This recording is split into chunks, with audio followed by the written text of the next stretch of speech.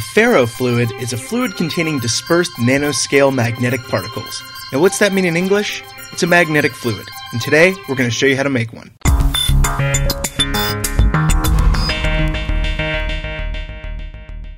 To start, you're going to need some laser jet toner, a rare earth magnet, and why not some vegetable oil.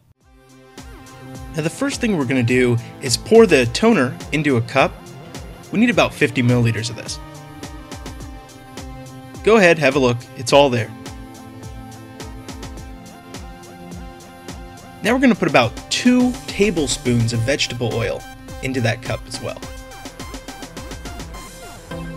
You may need a little bit more than this, it depends on how much ink you used. Now comes the fun part. Stir it until you get a nice thin consistency. If it's too thick, it might not work properly.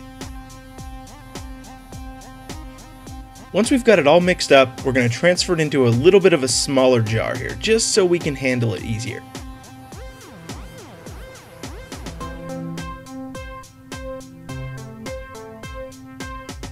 Okay, now let's give it a test. I'm going to take the earth magnet and put it on the bottom. And as you can see, the liquid magnetizes. It makes these little needles that pop out.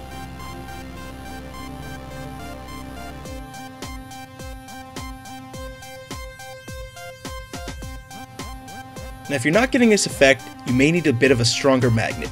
You can check your hardware stores to buy rare earth magnets. They're not too expensive. Now we're going to slide that up to the top and let it hang down. Let's get a look from another angle. As you can see, the nodules are just hanging down from the top of the glass. If we pull off the magnet, they'll actually just fall right off. Take a look.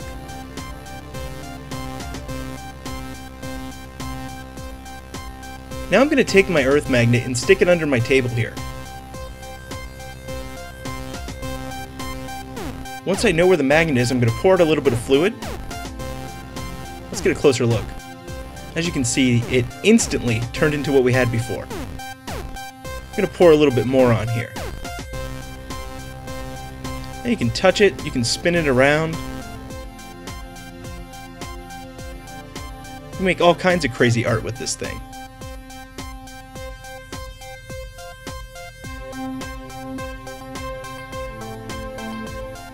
Let's try and move it, shall we? I have my hand under the table and I'm moving around the magnet. And as you can see, I can draw with this. Let's try and make a letter.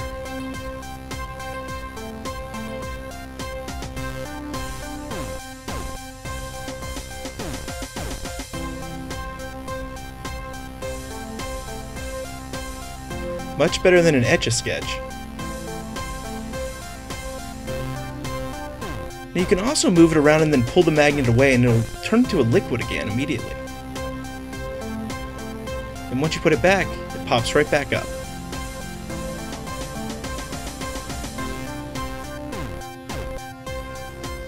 Now this stuff is not clean, so make sure you have some napkins on hand and something to clean it all up with.